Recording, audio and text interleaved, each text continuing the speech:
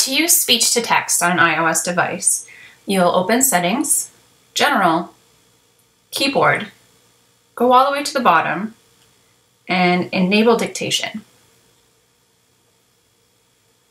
Now that dictation is enabled, you'll notice a microphone appear on the keyboard. Hello, this is dictation.